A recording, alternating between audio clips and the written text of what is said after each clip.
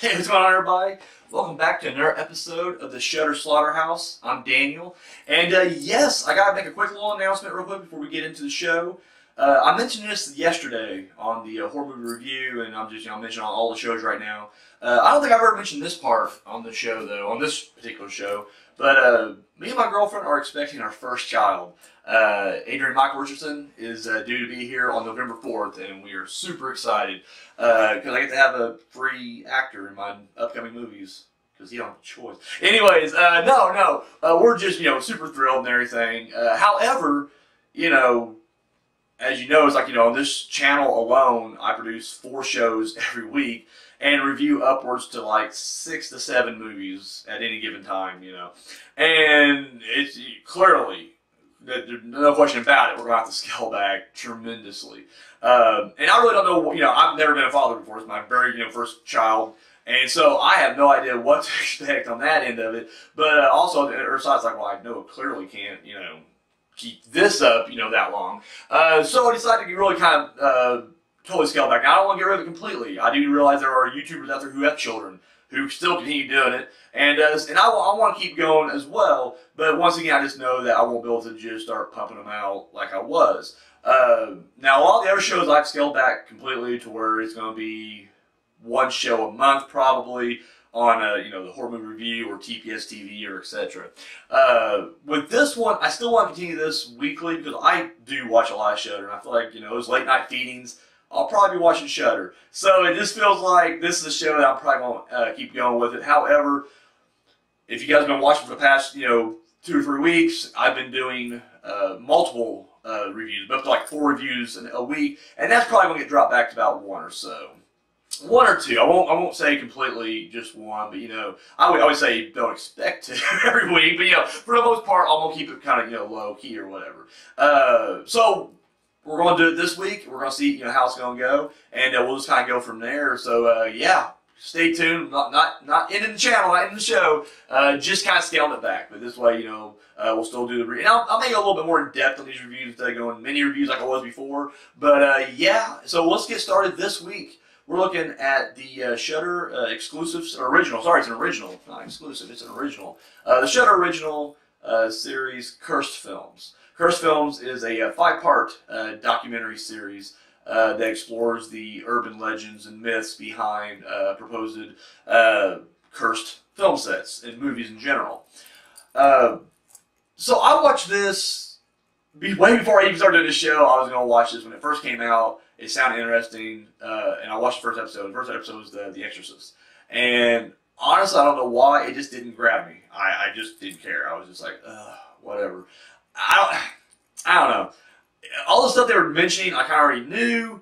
There was really no fresh insight into any of it. And then, like midway through, they start like talking to people who are like they really believe in it, I guess. And then they kind of go on these exorcisms themselves. And just kind of like I don't know. It seemed kind of hokey, and so I just kind of ended it. I was done, finished. Then I started doing the show, and I was like, well, maybe I should go back and give it another chance. Try. I mean, there's only five episodes. I was like, you know, and they're all, you know, pretty short. They're about a half hour piece. So I was like, let me check out the next one. And so the second one was uh, The Omen, which is one of my favorite movies. Uh, so much so that I got the tattoo on the side of my head right here. And uh, watched it and still knew everything they were talking about, but it was a little more in depth. There was a couple things I didn't know, a couple details I you know was I didn't know about, and so really liked it a little bit better. So the next movie or the next one was uh, Poltergeist. Uh, and that one, now that's a film, I'll be honest with you, this is where I'm always on the outside of the horror community. I was never big on Poltergeist. I mean, I don't know. I watched it when I was younger too, and just, I don't know, wasn't big on it. I didn't think it was scary, just thought it was, I don't know, it was just too clean and nice. I don't, I, I wasn't big on it. Couldn't, couldn't, couldn't get into it.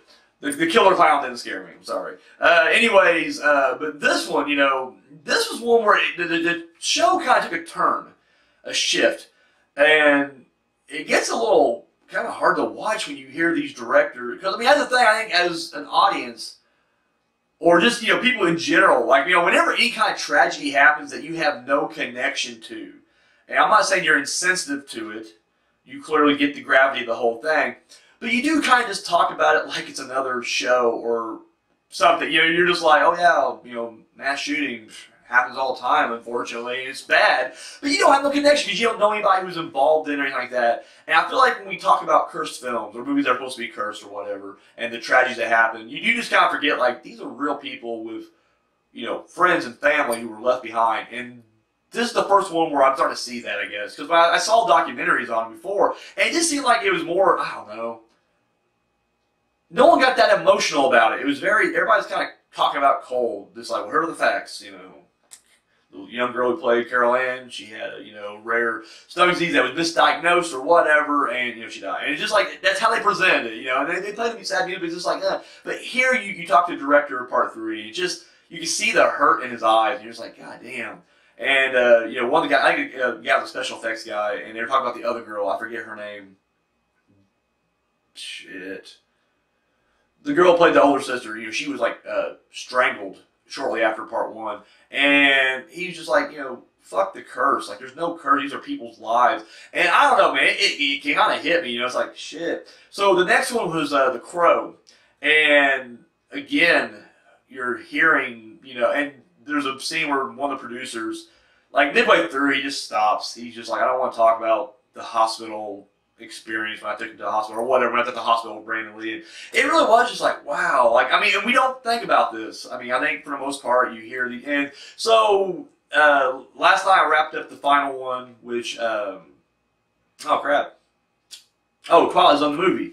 And that one was probably another thing too. Like there was never per se a curse on that film. Like with all the other ones, there were multiple incidents that happened throughout filming or whatever. But there's only one big one. But man, they it's a, it's a big one, and it really was just like.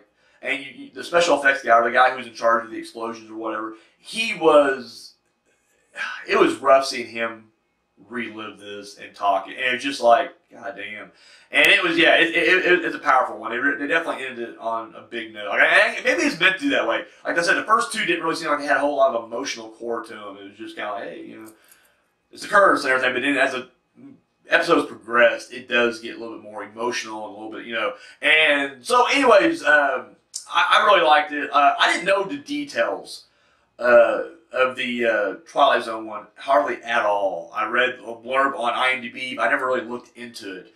Um, the Crow, I kind I knew all of that. But I didn't. There's some stuff I didn't know about that. Like I had no idea. Like the whole skull cowboy uh, bit was cut out, and they had to or trim it out, and then they had to you know redo that. I didn't know any of that. Um, and yeah, but like I said, with the Exorcist and the Omen, for the most part, I knew all that. And then Poltergeist, I knew it all, but it just seeing it through, I guess, the eyes of people who were there made it a little more impactful, I guess. Uh, so, anyways, uh, the Shudder audience have you know awarded this four out of five skulls, and I gotta agree. Uh, I don't know if there's gonna be any more. I know there's a few other films out there that you know supposedly have a curse to them. It'll be interesting to see if they you know tackle any more, or if this is just a one and done. But uh, no, I, I, really enjoyed it. I would say four out of five. Uh, if it wasn't for the first episode kind of sucking a bag of dicks, I would probably give it a five out of five. But uh, four out of five, it seems pretty pretty apt. Uh, like I said, it's a, it's, a, it's a documentary series, but they're only like a half hour uh, long a piece. And uh, if it's something you're into, I would highly recommend it. So there you guys have it. Guys, thank you for watching, and tune in next week. Till next time. Oh, shit. Didn't what you're. Sorry. Hi. Thank you for watching that video. Be sure to give us a thumbs up, share it, subscribe to our channel. All that good stuff you do right here on YouTube, go ahead and do it. Uh, check out our other videos. Go to our playlist. We got episodes of TPS TV, Journey Through the Dark Side. We got a new show coming out, the horror movie review with Daniel Richardson. This guy. Uh, and of course, uh, our short film, Entropy. You can find all that and more right here on YouTube. And then check out, yeah, look at that. All of our uh, social media right there. Uh, and we don't just, you know, copy and paste like the same post and put it on all. No, that's ridiculous. Three different platforms, three different posts. I mean, the behind the scenes stuff you see on Twitter will not be the same stuff you see on Instagram. So there you go, right there. So be sure to get on, give us a follow and a like on all that right there. Keep up to date.